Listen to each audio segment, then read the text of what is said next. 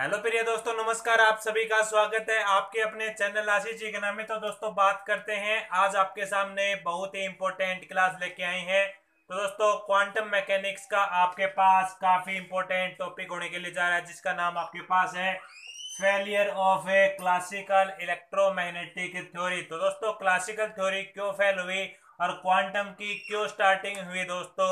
उसकी जानकारी आपको देते हैं इस वीडियो के माध्यम से। तो दोस्तों, अपने नोट्स बनाते रहे मेन मेन पॉइंट्स आपको लिखवाते रहेंगे। तो दोस्तों, बात करते हैं आज आपके सामने इस लाइव सेशन में बहुत ही इंपॉर्टेंट टॉपिक होने के लिए जा रहा है, जिसका नाम है क्लासिकल थ्योरी आपके पास ये फेल क्यों हुई? क्वांटम की शुरुआत क्यों हुई? तो दोस्तों, सबसे पहले आपसे निवेदन है, आप वीडियो के लिंक को शेयर कर दें। ताकि सभी जुड़ सके और अपना फ़ायदा उठा सके, अपने नोट्स बना सके। तो दोस्तों, बात करते हैं। आज आपके सामने काफ़ी इंपॉर्टेंट टॉपिक होगा। तो दोस्तों वीडियो के लिंक को शेयर ज़रूर कर दें। शेयर कर दें सबसे पहले।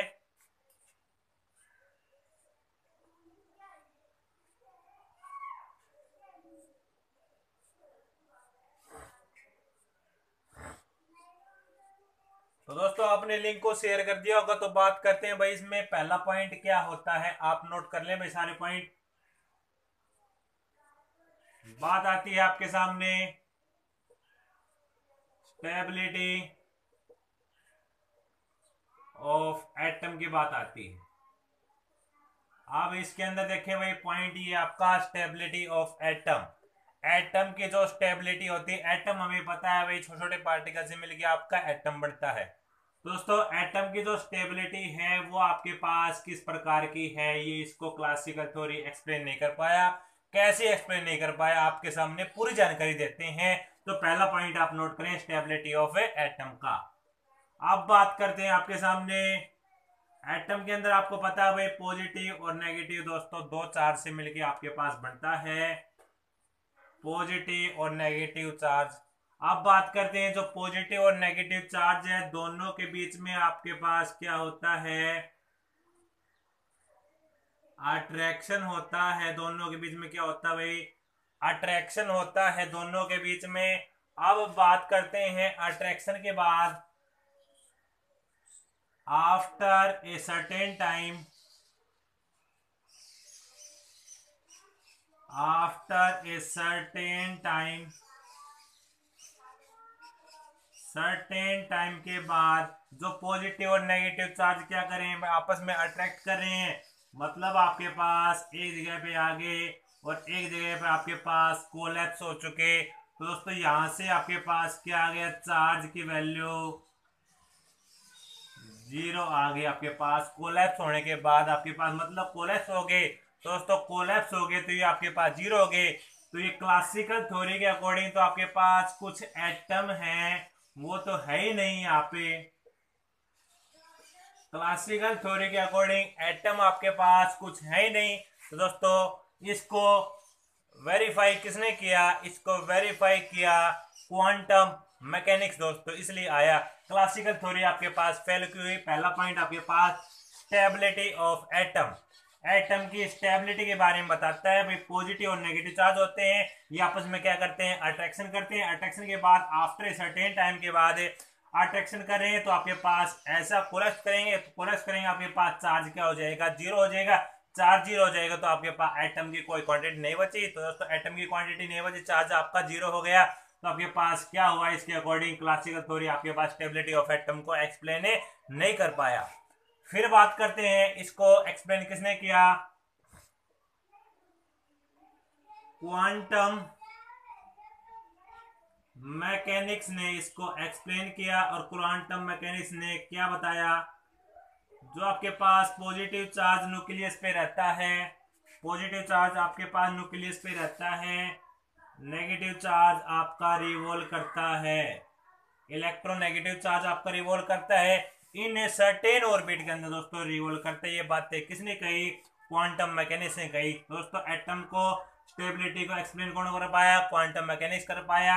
ये एटम की स्टेबिलिटी को एक्सप्लेन आपके पास क्लासिकल थ्योरी नहीं कर पाए। तो दोस्तों, पहला पॉइंट आपके पास है स्टेबिलिटी ऑफ़ एटम और आपके पास ये नोट करिए और अपने शब्दों में दोस्तों ये लिख देना सारे के सारे पॉइंट आप किसी प्रकार टेंशन न लें। पहला पॉइंट नोट करिए।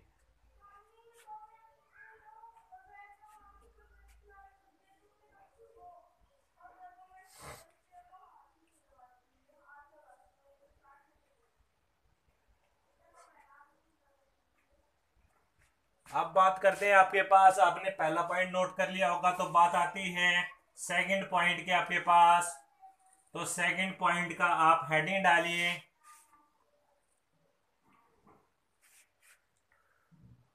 जो आपके पास एटम और पार्टिकल क्या होते हैं? आपके पास observable and distinguishable observable distinguishable इसको एक्सप्लेन नहीं कर पाया। कैसे एक्सप्लेन नहीं कर पाया, आपके सामने बताते हैं। भाई पूरा एग्जांपल देते हैं। जैसे आप समझो सबसे पहले जो क्लासिकल इलेक्ट्रोमैग्नेटिक थ्योरी है, ये ओनली माइक आपके पास सबसे पहले समझो आप मैक्रो और माइक्रो पार्टिकल के बारे में। मैक्रो मतलब जो हमें आँखों से जो पार्टिकल दिखते हैं, वो आपके पास मैक्रो के अकॉर्डिंग आते हैं। और माइक्रो मतलब छोटे छोटे जो पार्टिकल रहते हैं, आपके पास बात आई वो जो हम देख नहीं पाते, वो आपके पास माइक्रो के अंदर आते हैं। तो दोस्तों क्लासिकल के अकॉर्डिंग ओनली मैक्रो पार्टिकल के बारे में चर्चा हुई। माइक्रो के बारे में कोई चर्चा नहीं हुई दोस्तों, जैसे आपके पास माइक्रो का एग्जांपल बात करते हैं भाई। आपने बोसोन नाम सुना है, फर्मियोन नाम सुना है, इलेक्ट्रॉन नाम सुना है, प्रोटोन नाम सुना है। ये सारे के सारे क्या हैं भाई? सारे के सारे माइक्रोस्कोपिक पार्टिकल है। माइक्रो मतलब छोटे छोटे बोसोन को एक्सप्लेन करने के लिए बोस आइनस्टाइन स्टेटिक्स आया। बोस आइनस्टाइन स्टेटिक्स आया। फर्मियन को फर्मी डेरा स्टेटिक ने किया। और इलेक्ट्रॉन और प्रोटॉन के लिए दोस्तों रदरफोर्ड आया, काफ़ी आए थे दोस्तों। दोस्तों इनके अकॉर्डिंग बारी बारी से इन्होंने एक्सप्लेन किया, बट बात आती है क्लासिकल के थ्योरी के अकॉर्डिंग। माइक्रोस्कोपिक पार्टिकल एक्सप्लेन नहीं कर पाती और एक्सप्लेन नहीं कर पाती तो आपके पास ऑब्जर्वेबल और डिस्टिंग आप नहीं कर पाते। और इसका एग्ज़ाम्पल और समझिए एक और। ये तो पहला एग्ज़ाम्पल है। और जानकारी लें इसके बारे में आप। मारुति एट हंड्रेड की बात आती मारुति एट हंड्रेड, जैसे मैं कह देता हूँ भाई, मेरे को मारुति एट हंड्रेड चार कलर में चाहिए। कैसे कैसे? बात करते हैं आपके सामने। रेड कलर में हंड्रेड क्वांटिटी, ब्लू कलर में फिफ्टी क्वांटिटी, येलो कलर में सिक्सटी क्वांटिटी, ब्लैक कलर में अस्सी क्वांटिटी दोस्तों, आपके पास ये क्वांटिटी है। ये आपके पास क्या हो रही है इसमें? ऑब्जर्वेबल एंड डिस्टिंगेबल मतलब आपके पास जो ऑब्जर्वेबल मतलब आप ऑब्ज़र्व कर सकते हैं भाई सारे के सारे पॉइंट को। अब जो आपने इसमें देखा था, आपके पास माइक्रो और मैक्रो का मतलब आया था। माइक्रो और मैक्रो इसमें आपके पास क्लासिकल इलेक्ट्रोमैग्नेटिक थ्योरी है। ये आपके पास माइक्रोस्कोपी जो पार्टिकल होते हैं, उसको एक्सप्लेन नहीं करती। ओनली मैक्रा मतलब बड़े बड़े जो आपके पास पार्टिकल होते हैं, उनको एक्सप्लेन कर पाती है। ये आपके पास सेकंड पॉइंट है ऑब्जर्वेबल एंड डिस्टिंग्विशेबल जो आपके पास पार्टिकल होते हैं। इसको नोट करिए पोज करिए।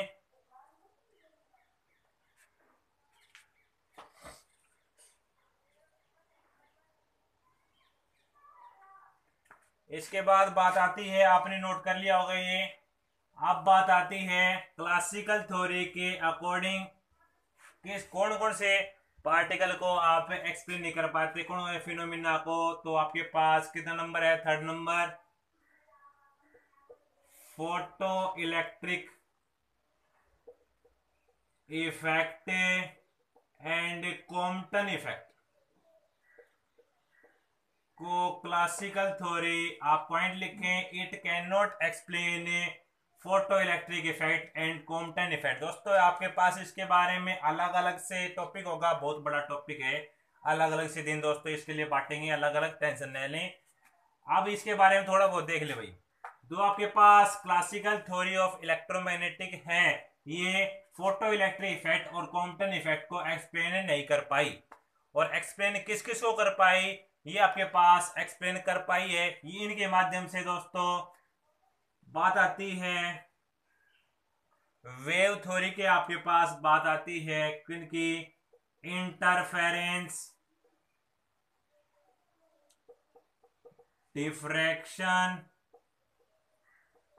इंटरफेरेंस के फिनोमिना को डिफ्रैक्शन के फिनोमिना को एक्सप्लेन करती है कौन? क्लासिकल थ्योरी एक्सप्लेन करती है बट क्लासिकल थ्योरी एक्सप्लेन किसको नहीं कर पाई? फ़ोटो इलेक्ट्रिक इफ़ेक्ट को और कॉम्पटन इफ़ेक्ट को एक्सप्लेन नहीं कर पाई। आप पॉइंट लिखें it can not explain photo electric effect and Compton effect दोस्तों फ़ोटो इलेक्ट्रिक और कॉम्पटन इफ़ेक्ट के बारे में आपके सामने पूरा लेक्चर होगा। अलग अलग दोस्तों कॉम्पटन इफ़ेक्ट अलग करवाएँगे। फ़ोटो इलेक्ट्रिक अलग करवाएँगे। यहाँ पे बात हो रही है भाई फेलियर के पॉइंट आपने लिखने हैं। तो दोस्तों थर्ड नंबर पॉइंट ये नोट करिए पोज करिए।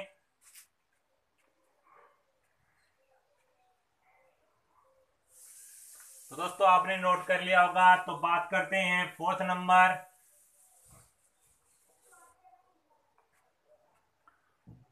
fourth number point आती है it can not explain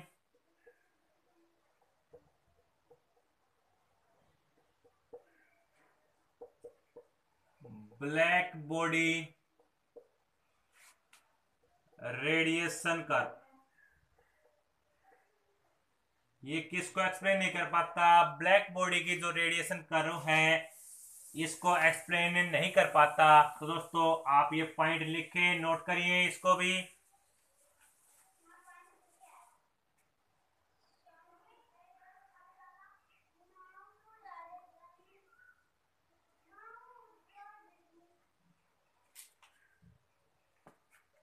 फिर बात आती है आपके सामने। Fifth number point.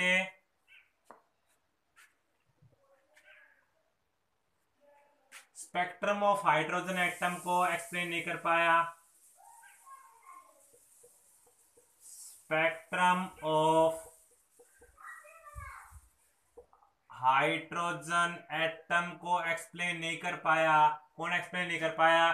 Classical electromagnetic theory explain नहीं कर पाई। बात आती है वेव नंबर होता है आपका, जो नोटेशन आपकी ऐसी होती है दोस्तों, ये किसके बराबर होता है? One by lambda R into one by one by आपके पास, यहाँ पे क्या होता है भाई? एन ए वन का स्क्वेयर माइनस में एन टू का स्क्वेयर, ये आपके पास वेव नंबर जब निकालते हैं, यहाँ पे प्रत्येक चीज़ के बारे में बताएँगे भाई। ये आपके पास बी द वेव नंबर होता है। ये आपके पास बी द वेव लेंथ होती है। N one and n two are integers होते हैं और ये इंटीजर आपके पास एन वन बड़ा होता है एन टू से। ये आपके पास स्पेक्ट्रम ऑफ़ हाइड्रोजन एटम के स्पेक्ट्रम को जैसे आपके पास लेमन बार्मर पास्टियन बैकिट और फंड सीरीज़ आती है, जो आपने पाँच सीरीज़ दोस्तों पढ़ी है। लेमन बार्मर पास्टियन बैकिट पेफंड जो आपने दोस्तों पाँच ये सीरीज़ पढ़ चुके हैं आप। ये जो पाँच सीरीज़ जो आपने पढ़ी है इनको ये आपके पास स्पेक्ट्रम ऑफ़ हाइड्रोजन एटम के स्पेक्ट्रम को एक्सप्लेन नहीं कर पाता, कौन एक्सप्लेन नहीं कर पाता? Classical theory of electromagnetic explain नहीं कर पाती। तो दोस्तों, आपके सामने हमने बताए failure of a classical theory of electromagnetic के पॉइंट दोस्तों, आपने नोट कर लिए होंगे सारे पॉइंट तो दोस्तों, आज के लिए आपके लिए काफ़ी इंपॉर्टेंट क्लास थी। आप इन पॉइंटों को नोट करिए, काफ़ी इंपॉर्टेंट क्वेश्चन है ये आपके लिए, काफ़ी बार पूछा गया है। तो दोस्तों बारी बारी से आपका सारा सिलेबस कवर करवाएँगे, आप किसी प्रकार की टेंशन न लें। और जो चैनल पे हमारे पहली बार आए हैं चैनल को सब्सक्राइब कर लें और जो आपको नीचे बेल आइकन वाला बटन दिख रहा है, उसको प्रेस कर लें, ताकि भविष्य में आने वाली हर अपडेट आपको मिल सके। आज के लिए आपके लिए इतना ही। मिलते हैं आपको नेक्स्ट वीडियो में। धन्यवाद। जय हिंद, जय भारत।